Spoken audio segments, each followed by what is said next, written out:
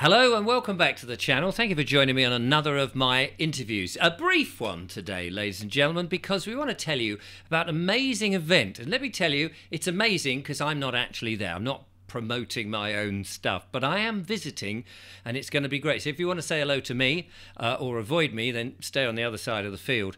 But, uh, ladies and gentlemen, if you want to know about, and I've got a huge list of stuff here I want to tell you about, if you want to know about whether we're going to go down the path of tenocracy, technocracy, if I can say it, or Mother Earth, you listen up. We've got climate science, we've got nutrition for prepping, we've got biotrain theory, uh, it might even be bioterrain theory, superfoods, Orgone energy, new native indigenous rights. We've got apothecaries, lucid dreaming, spinal care, voice therapy, Merkaba meditations. We've got the star family popping in. That's uh, beings from UFOs. They might not actually arrive, but we never know. And fractal water and resilient communities. I've no idea what any of that means, but I know a man who does. Eli Everyman is here. Hello, Eli. Hi. Hello. Hi, Richard. You're the man responsible for the Shine seminars, which are happening, if I remember rightly, at the beginning of August, something like the 4th to the 6th. Is that correct? Correct. Correct. Oh, I've done, done my homework for a change. Um, so this is about the the choice we've got. Am I right? With te- tell me how we pronounce that. Technocracy. Is that right? Yeah. Yeah. Technocracy, or we go and keep Mother Earth. We're either going to be robots and drones or we're going back to nature to enjoy this wonderful world that we should be. And you've got this event going on, and it's I know it's already getting packed because uh, you told me earlier, but we don't want people to miss out. Absolutely. Is that right? No, that's right. So some of these things, I mean, they sound absolutely brilliant. So just tell me, just just re- remind us of the event, and then perhaps we'll look at some of these specific things that you've got going on. Okay. So uh, thanks for having me, Richard. It's lovely to Pleasure. see you uh, you're looking very healthy, which is great. Oh, thank, thank you very much. I do my I do my best, you know, a few organic apples yeah. here and there. Yeah. Um, so yeah, we're doing this event. Um, it's in South Gloucestershire. It's uh, a three-day event. You can come for the day. So there are day tickets. There are actually two-day tickets and the weekend. Um, and there is camping there. Unfortunately, no dogs, but children are free. Um, and we've been given this lovely space to um, congregate with some amazing people. They're all of the same ilk. They're all very much um, awake. Um, and a lot of them have been doing this type of work for many, many years. So they're professionals in their own right. Um, a lot of them are um, published authors, and they are truly embodying what they do. So they are absolutely you know, uh, experts in their field. So uh, I, I do this one day event called the Shine Seminars, and I've done them since 2021, coming out of the adversity of the lockdowns in 2021. And um, I did. I was given the opportunity to rent a festival site, of which um, Sundara Community is having a festival. Then we're doing our, our gig, and then the Rainbow Camp is coming after us. So we've got this incredible site um, and uh, I've managed to um, put the call out to these amazing people, and they've all said yes. And we're going to have an amazing time. Um, it's going to be very educational, a lot of fun, um, a lot of different uh, disciplines and modalities, as they call it, um, healing modalities um, for the fourth, fifth, and sixth, which I believe is about ten days away now or close to. So yeah, it's yeah, it's it's, it's not far. So tell me some of these things then. Um, for example, orgone energy. What's that about? Mm-hmm. Well, um, orgone is kind of the, the, the Western word for chi, actually. Uh, ah. So it's it's the it's the Western word for for uh, what you would call the life force. So. Um, for, I mean, it is actually. It could be called the Kundalini, and there is there is life force in everything. Um, and we can get deep on that if you want. But in that, no, context, no, no, don't don't get deep. Let, let people can turn up and get deep with one of your absolutely wonderful, so, wonderful speakers. But in effect, the, the, we've got Harry Rhodes coming, um, and he's just opened up a healing centre with um, Mark Atwood in Ireland, um, and he's going to bring this cloud bursting machine. You know the Kate Bush song "Cloud Bursting." Oh yeah. Yeah, you know where there's the big machine that moves the clouds. Yeah. You see the the the um the obsoletes, as I like to call them, um, they've got their own geoengineering program, but we've also got ours, um, and and, and we can manipulate the weather too. So well, that's that's encouraging. I, I, interviewed um, Charles Dowding not so long ago, the no dig chap, and he has got in his garden these uh, copper rods all joined together with a couple of uh, crystals and things. And he claims that it does exactly that. It can yeah. dispel the clouds to keep the sun. It must work because his garden is magnificent. Yeah, that is literally the same thing. We're tapping in to the zero point field, as uh, as some people call it, the quantum field. And this is obviously it's interesting with quantum uh, technologies and the quantum field in the physical physics arena. It's the most uh, studied field ever, and wow. just keeps coming back saying yes, this exists. Yes, this exists. It's it's a hundred percent. Um, you know the quantum the quantum world is here, and that's where we're working at the moment. So Charles Dowding is a great example of that. Ah, brilliant. And yeah. now let's have a look at some of these other things. What about this uh, lucid dreaming? I'm sure everybody loves a, few lucid dreams if they're nice and kind and, and what have you, yeah. or of a, a slightly uh, erotic nature. But um, what is it? Well, you know, we, have got to get our fix from somewhere. Um, but uh, what does it mean when you say lucid dreaming? Is it about bringing it on and having dreams in which you sort of find answers to things? Um, well, Roseanne Jacks is the lady who's going to be with us, and I uh, I don't think you've had her on your show, but no, I haven't. She's, she's a lovely lady. Um, it's working with the subconscious. Ah. Um, and and what you can do is uh, there are many many different techniques, but you can go to bed. You can set an intention um, and say, I would like this answer to come from my dream. You drink some water. You go to sleep with that intention and then you wake up in the morning and you write it down and the more you work with something it's the same as anything isn't it mm. you know if you if you want to build a really good sound castle get down the beach build many many sound castles and you get a huge sound castle same with lucid dreaming um, it's a practice as everything is and um, you can you can start working with your dreams and um, you know tapping into some very deep archetypal um, you know primordial even images. So, but Roseanne Jack's the lady, and she runs a um, a course in Bristol. She does one to ones and groups. So I'm very happy to have Roseanne with us.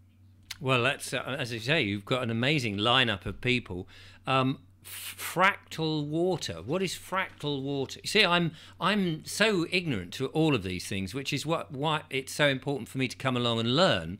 Like so many of my audience, they may know some things, but they may not know everything, and and you seem to have encapsulated it all. So tell me what fractal fractal water is. So water has a natural state, mm. and actually we don't really see it that much anymore um, and Dr. Emoto's work. I don't know whether you've you've covered that. I've heard the name, but I've not done too much about it. So Dr. Emoto, he did a set of laboratory experiments with water, where he would um, talk. He would talk to water, and he would say particular words into water, and water ah. has its own intelligence. And so it will, if you if you say the word hate into water, it it has this kind of chaotic um, manifestation. And if you if you say the word love into it, it produces this beautiful. Um, so there is an intelligence in water, and this is again this is kind of a quantum thing that's coming out at the moment. This this this knowledge. So um, fractal water is is taking any water and actually taking it back to its original state, and you can do this by spinning it.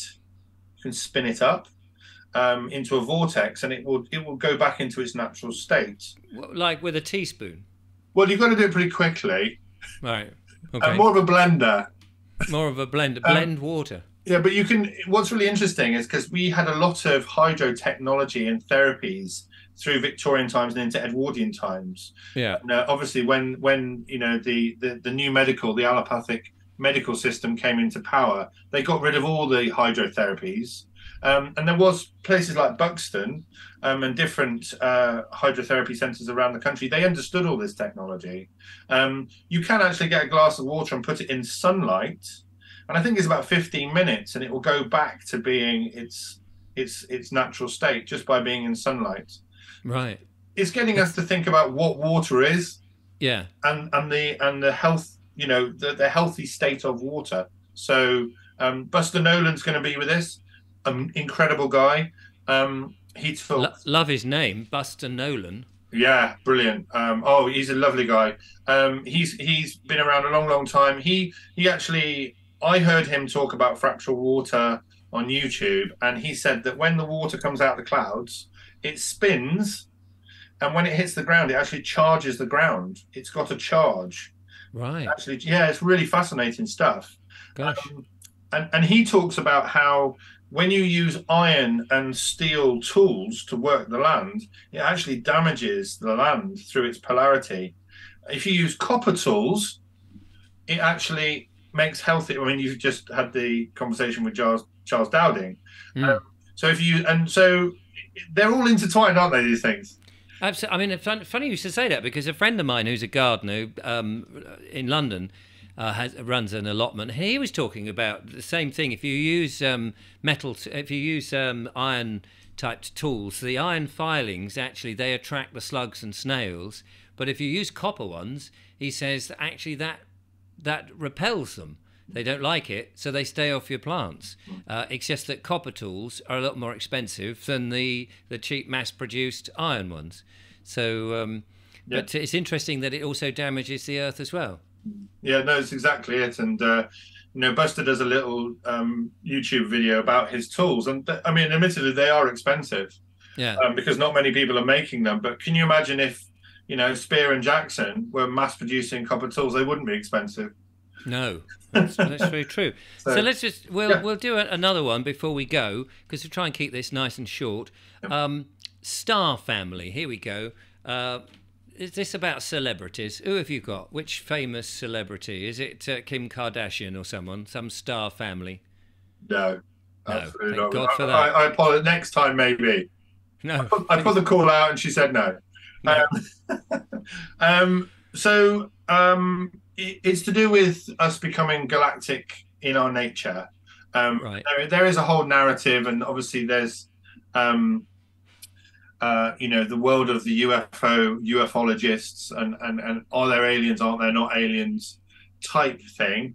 Um, and um, there's a guy called Michael Salla who talks about um, moving into our Star Trek future, um, because obviously at some point we are going to go off in off planet, etc. Um, but we've got a chap called Matt Bell who talks about galactic consciousness, and so it, it's it's um it's interesting. It talks about Pleiadians and Arcturians and Andromedans and and Sirian consciousness. So it's a different level of consciousness. It's not a human consciousness.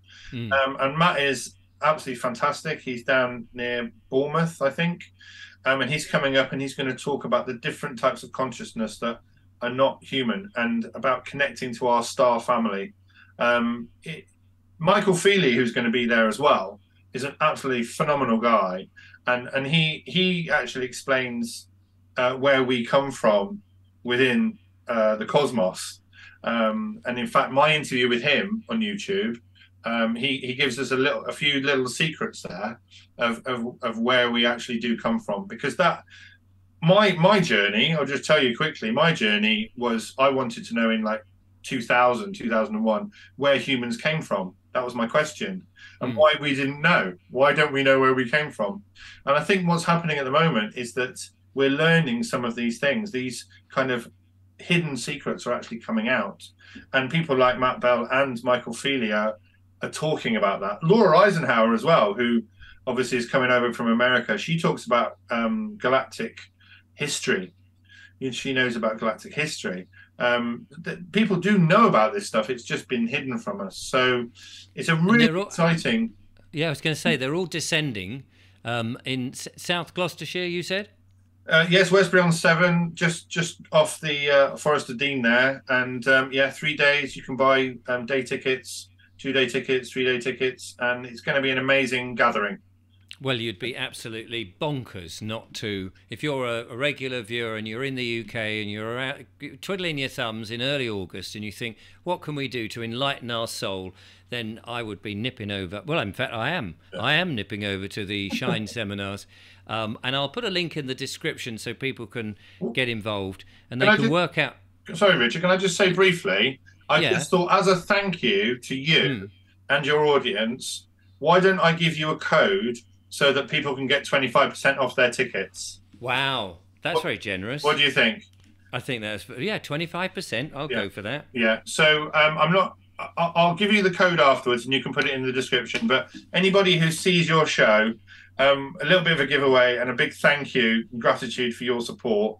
Um, um, and you can put it into Eventbrite, and you'll get twenty five percent off the tickets. You can't go say fairer than that, can you? No. Eli, thank you so much. That's so good. Well, I'll see all of you lot uh, watching at the Shine seminars um, in a few weeks' time. So uh, thank you very much. Looking forward to shaking your hand and saying good on you.